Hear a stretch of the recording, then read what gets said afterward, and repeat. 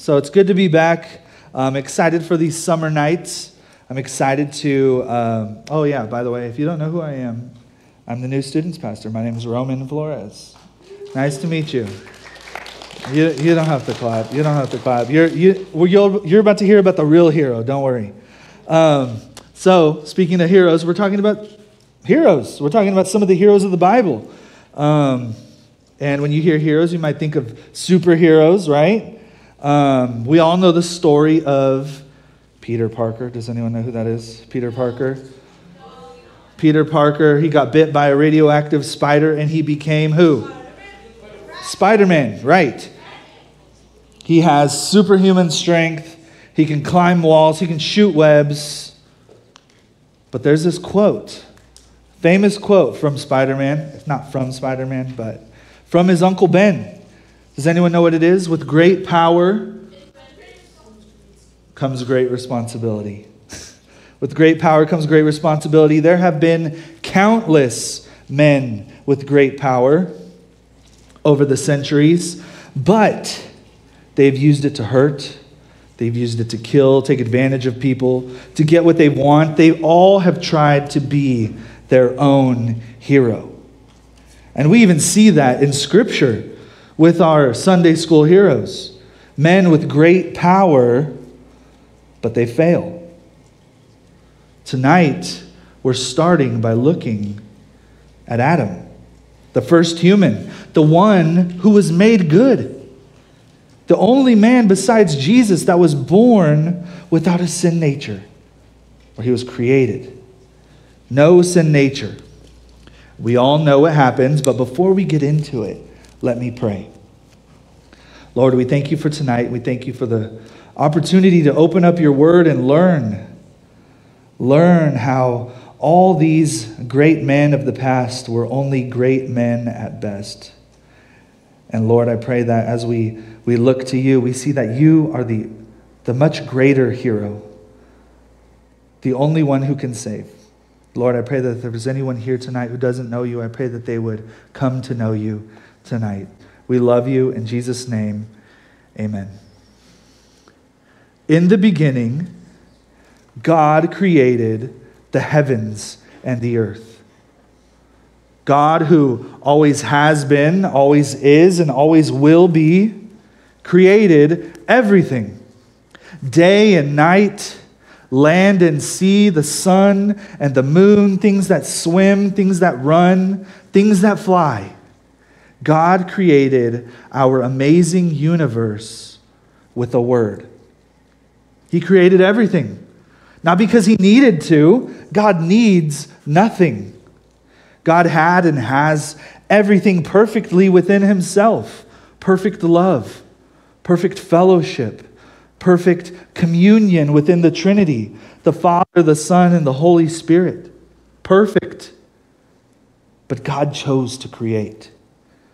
The beauty and power and goodness of our invisible God would now be visible. And out of all the things that He created, out of all of creation, God made something special. We read in Genesis that on the sixth day, God created man.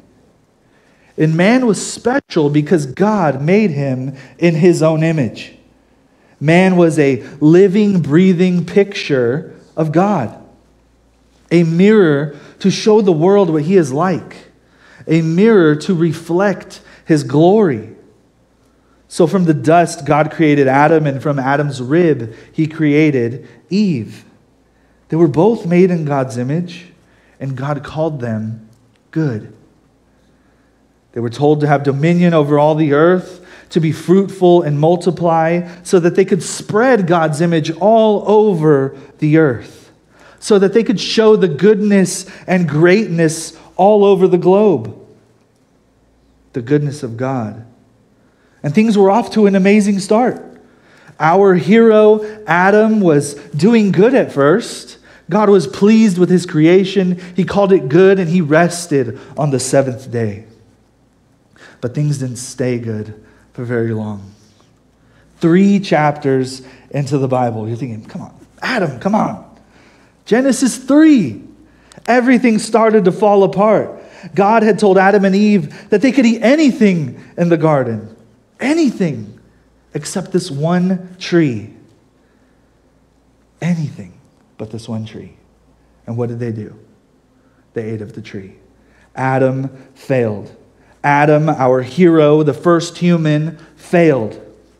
They chose to believe the devilish snake instead of their good creator. They disobeyed God's word and they brought in sin and death. God's good creation was broken. The fellowship between God and man was broken. Adam could no longer walk with God in the garden. Our hero became a villain. And so our good God couldn't be with these people who had become so bad, and so he kicks them out of the garden. He kicks them out of heaven on earth, and he killed an animal to cover their naked shame and sin, and he cursed them, and he cursed the snake. But in the middle of cursing them, our good God, our good and gracious and merciful God, gave them a promise.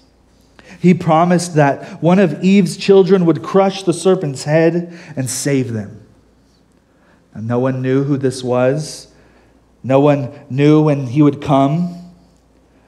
But even though they disobeyed, and God could have justly punished Adam and Eve and ended this whole creation thing right then and there, he promises a Savior. He promises a hero and that is what a big majority of the Old Testament is, is about. Is this the hero? Is this the hero? Is it, is it Cain? Is it Abel? Is it Noah? Is it Abraham? Is it Moses? What about King David, the, the man after God's own heart? It must be him. What about the great and wise Solomon? What about the prophets? Who is this promised seed? Who is the promised Messiah? All these quote unquote great men keep coming and failing, all these great heroes, they keep failing. Then, all of a sudden, after a long silence, after the prophets, the true and better hero appears. We see in Luke 2 10 and 11, we see angels bursting out to this group of shepherds saying, Fear not. For behold, I bring you good news of great joy that will be for all people.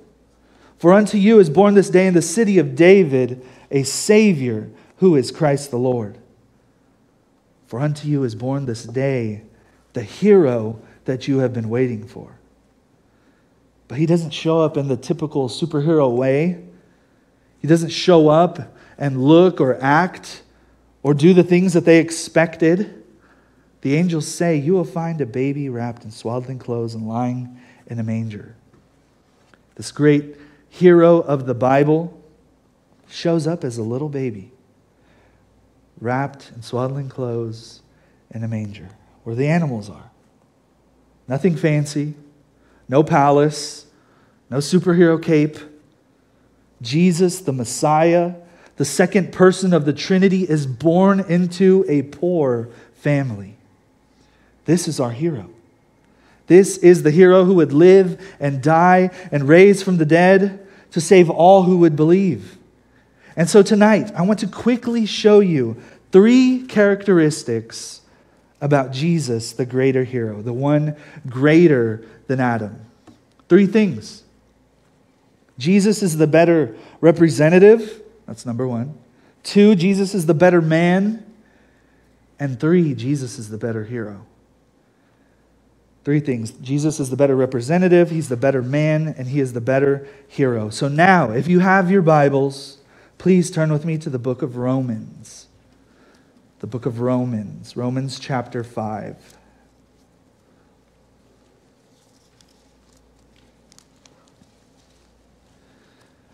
Romans chapter 5, verses 12 to 21. this section's called Death in Adam, Life in Christ. Starting in verse 12, it says, Therefore, just as sin came into the world through one man, and death through sin, and so death spread to all men because all sinned. For sin indeed was in the world before the law was given, but sin is not counted where there is no law. Yet death reigned from Adam to Moses, even over those whose sinning was not the, like the transgression of Adam, who was a type of the one to come. But the free gift is not like the trespass, for if many died through one man's trespass, much more have the grace of God and the free gift by the grace of that one man, Jesus Christ, abounded for many. And the free gift is not like the result of that one man's sin. That one man is Adam. For the judgment following one trespass brought condemnation, but the free gift following many trespasses brought justification. For if because of one man's trespass death reigned through that one man, much more will those who receive the abundance of grace and the free gift of righteousness reign in life through the one man, Jesus Christ. Therefore, as one trespass led to condemnation for all men, so one act of righteousness leads to justification and life for all men. For as by the one man's disobedience the many were made sinners, so by the one man's obedience the many will be made righteous. Now the law came in to increase the trespass, but where sin increased, grace abounded all the more so that, as sin reigned in death, grace also might reign through righteousness, leading to eternal life through Jesus Christ our Lord. Jesus is the better representative. Adam, our champion, the crown of creation, the top of our family tree, the one without a sin nature, brought death it says, Because of one man's trespass, death reigned through that one man. Adam was our representative, he was our federal head. And when he sinned, he brought sin into the bloodline. If that's confusing, I've heard someone explain it like this If the president of the United States declares war on a country, at war. If the president says we're at war with this country, declares war, that means every single one of us are at war with that country, even though we didn't make that decision ourselves. The president is our representative, he is our federal head. And so, with Adam, our great, great, great, great, great, great, great, great, great, great grandpa, our representative, when he sinned, we all sinned. He brought sin to all of us because we were all in him. And now, after him, everyone who is born is born into sin. We are now born with a sin nature. We are born spiritually dead. We are born helpless. We're born sinners. But Adam, like verse 14 says, was a type of the one who was to come. Adam was our representative in the garden, and Jesus came to represent us as well. Our first representative plunged us into sin, but Jesus, the better representative, brings grace and life and justification. In order for Jesus to stand in our place, he had to be like us. He had to be born a human. Does that make sense? We're not dogs, so Jesus didn't come as a dog. He had to be born a human. He had to be born of a virgin. This is so important. He had to be born of a virgin so that he wouldn't inherit that sin nature like we do. Do you see why the virgin birth is so important? Sometimes we just glance over it at Christmas. But Jesus had to be born of a virgin. We have to believe in this because if he wasn't born of a virgin, he wouldn't be able to save. If he was born with that sin nature, he wouldn't be perfect. Jesus was born of a virgin so that he wouldn't inherit that Adamness, so that he wouldn't be born a sinner, so that he could be the better Adam, so that he could be the better representative. That's why he had to be human. He came to be the better representative for us. He came to do what Adam failed to do, and that was to obey, to fulfill all righteousness. And so Jesus is the better representative. Number two, Jesus is the better man. So Jesus doesn't just come, he doesn't just wrap himself in human flesh to represent us, die really quick, and then boom, gone into heaven. No. Jesus did much more than die. He did much more than that. Jesus came and lived. You see, when you put your trust in Christ, you don't just get his death in your place. Jesus didn't just die for you as your representative, Jesus lived for you.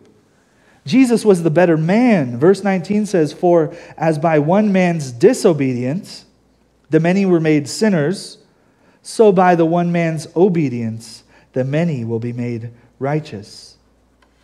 Adam's disobedience made us all what? Sinners. But by the one man's obedience, by Jesus' obedience, the many, aka all those who would believe, will be made righteous. This is amazing. This is amazing stuff. This is so important for you to grasp and understand and hold on to. Jesus came and lived from a baby up until he was an adult perfectly. He obeyed perfectly. Now, if he was your brother, like, it'd probably be kind of annoying to have a perfect brother. You know what I mean? But Jesus was perfect. He lived perfect. Adam lived and he made a huge mess, but Jesus didn't just clean up. Jesus lived clean. And so when we put our faith in him, we get that clean life, not just his death. We get his righteous life. Does that make sense? It's the great exchange. Have you ever heard it called that? It's the great exchange. Our sin for his righteousness our broken, sinful life for his perfect one.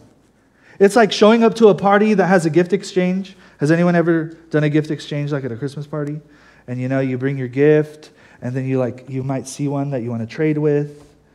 But think about this. You show up to this party with this gift exchange and you bring sin. You bring tons and tons of sin. Now, who's going to want to trade with you? Who's going to want to trade their, their nice Starbucks gift card with that? No one. No one wants to trade with that except Jesus. Jesus came to trade you his righteous, perfect life for your sin. Jesus brought salvation to the gift exchange, and you brought sin. And all it takes is faith faith to get it. And you know what? Jesus even gifts you that too. Faith is a gift from God. This is amazing. This is so one sided. Praise the Lord. Adam lived and failed while Jesus lived and obeyed. Adam brought sin, Jesus brings life. He is the better representative and the better man. Number three, Jesus is the better hero. Verse 20 says, Now the law came in to increase the trespass, but where, the, where sin increased, grace abounded all the more. So that as sin reigned in death, grace also might reign through righteousness, leading to eternal life through Jesus Christ our Lord. So Adam, our hero, had everything that he needed. He had everything that he could ever dream of in the garden. He didn't have a sin nature. God said that he was good. And when he faced temptation, one time, what did he do? He sinned. He gave into the temptation. But Jesus, the greater hero, in Luke 4, it says Jesus was led into the wilderness by the Spirit for 40 days. 40 days. Being tempted by the devil, and he ate nothing during those days. We go like three hours and then we want to sin. Jesus went 40 days and he was tempted by the devil. He ate nothing. And when they were ended, he was hungry. It says, Luke 4, verse 2, 3. The devil said to him, If you are the Son of God, command this stone to become bread. Now listen, if you were a superhero, or you were, I don't know, you had these powers, and you could change a stone to bread and you were starving for 40 days, all those rocks would be bread. but Jesus, Jesus answered him, It is written, man shall not live by bread alone. He didn't give in to the devil's temptation. And the devil took him up and showed him all the kingdoms of the world in a moment of time. and said to him, To you I will give all this authority and their glory, for it has been delivered to me, and I will give it to whom I will. If you then worship me, it will all be yours. And Jesus answered him, It is written. Jesus kept pointing back to Scripture. You shall worship the Lord your God, and him only shall you serve. And then he, the devil, took him to Jerusalem, and he took him to the tippy top of the temple, and he said, If you are the Son of God, throw yourself down. Now, here's the, the creepy part Satan then quotes Scripture to Jesus. He will command the angels concerning you to guard you, and on their hands they will bear you up, lest you strike your foot against a stone. And Jesus answered him, It is said, You shall not put the Lord your God to the test. And when the devil had ended every temptation, he departed from him until an opportune time. I read all that to tell you this Adam, in the perfect conditions, when tempted, failed. Jesus, in the wilderness, hungry and tired, when tempted three times, was victorious. Jesus is the greater Adam. Adam failed and sinned. And you see, this isn't just Adam, this is us. Jesus, yes, Adam brought sin and death, but the law comes and shows us that we aren't what we were created to be. God's word shows us that we are sinners. We're not what we create we were created to be. We were created to love and enjoy and obey and trust God. But instead, we want to be our own God. Instead of worshiping our Creator, we worship His creation. We want to worship ourselves. We are rebels. We are villains. We're sinners. Ephesians 2 says that we are dead in our sin, following the prince of the power of the air. Now, who's that? That's the devil. We follow him, aka the snake. So, how are we? Are we any different than our hero Adam? No, we're no different. It's like the Spider Man meme where they're pointing at each other and they're the same. We're just like Adam, our great, great, great grandpa. We want to go our own way. And some of you are still trying to go your own way. Some of you haven't turned to Christ yet. Some of you are still trying to be the hero of your own story. Some of you think that you can make it to heaven on your own power and you say, well, well, I go to church, well, I, I serve and I read my Bible and I pray and I come to TG and I and I and I. Matthew 7, 21 to 23 says, Not everyone who says to me, Lord, Lord, will enter the kingdom of heaven. But the one who does the will of my Father who is in heaven, on that day many will say to me, Lord, Lord, did we not prophesy in your name and cast out demons in your name and do many mighty works in your name? And then I will declare to them, I never knew you. Depart from me, you workers of lawlessness. This is a scary passage. It's scary to think that one day God could say, Depart from me, I never knew you. But here's the thing there's something that these guys here in Matthew 7 are doing.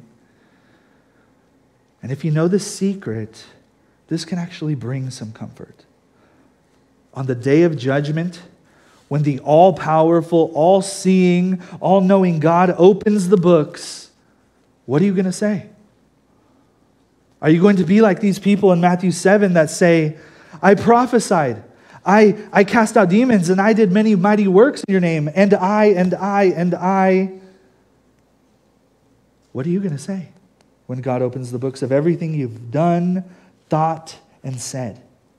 Are you going to say, I was the hero?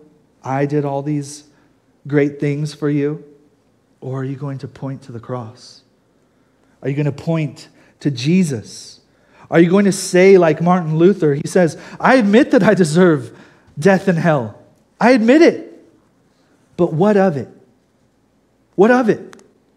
I know one who has made satisfaction on my behalf. I know of the one who has made satisfaction in my place as my representative. When you die, I know that's not really something you young people think about death that much. But when you die, who are you calling on to be your hero? We for sure don't want Adam. He failed. But is it yourself? Are you trusting in your own works? Or are you going to trust Jesus, the greater hero, the one who wrapped himself in human flesh, the better representative, the one who lived the perfect life, the better man, the better human, the one who died in our place, the better hero? Who is your hero? I hope it's Jesus. Because if it's anyone else, if it's yourself, you're doomed. Like I said, we are sinners. Now, what's a good God supposed to do with sinners like us? Remember, God is good and God is just. And He can't just let it go by on, we can't let us just go by on our own. He can't, he can't just let us get away with it. He can't just sweep our sin under the rug, otherwise, He wouldn't be good or just. He has to punish us for our sin. Or, or he can send a better representative into the world, a better human, one who can save and be the hero for all of these villains. But what hero would want to do that? What hero would lay down his life for the bad guys, the rebels? Not Superman. Batman isn't laying his life down for the Joker. Spider Man isn't sacrificing himself for the Green Goblin. But God shows his love for us in that while we were still sinners, Christ died for us. Romans 5 8. God shows his love for us in that while we were still sinners, Christ died for us. Do you see the beauty of the gospel? Do you see what Jesus has done for us? This is the good news. Bad people like us can be saved. Jesus offers salvation, eternal life to all who would put their faith in him and turn from their sin. Our God is such a good and loving hero. So please don't wait. Tomorrow's not promised. Someone tonight couldn't make, could, might not make it home tonight. I mean, we pray against that, but we don't know. So don't wait. Satan wants you to wait. He wants you to say, Oh, I'll do that tomorrow, because he knows tomorrow's not promised. Don't wait. Don't take God's mercy and grace for granted. Now, back to the garden really quick. After Adam failed, after the fall, what was the first thing that Adam hears. It is the voice of the greater hero. It's God saying, Adam, where are you? God is so merciful and gracious. Right when he could have ended creation and punished Adam and Eve, he promises to provide a hero and he kept that promise. God is faithful. He sent Jesus, the only one who can save us. Trust him and only him tonight. Let's pray. Lord, we thank you for your revelation of what you've done for us. Lord, it's amazing that it's amazing that you created in the first place. You didn't have to. You had everything perfect within yourself perfect joy and love and, and fellowship and everything within yourself. But Lord, you created, and you created a good creation. And that good creation rebelled against you. And Lord, we are so thankful that you didn't end it there because you could have. Lord, thank you for sending your Son into this broken world to live amongst sinners and to live perfect and be our representative, to live for us and die for us and then raise from the dead so that all who believe in, in him and him alone can also raise one day. Lord, we are so thankful for the gospel. I pray that everyone here would believe it and live it out. Lord, we love you and we thank you. And we are overwhelmed by what you've done for us. We love you in Jesus' name. Amen. Hey, Thanks for tuning in to our Redeemer YouTube channel. If this is helpful for you, please make sure that you like this video, smash the subscribe button, and hit that bell icon. It will help us reach more people with biblical truth. Thank you so much.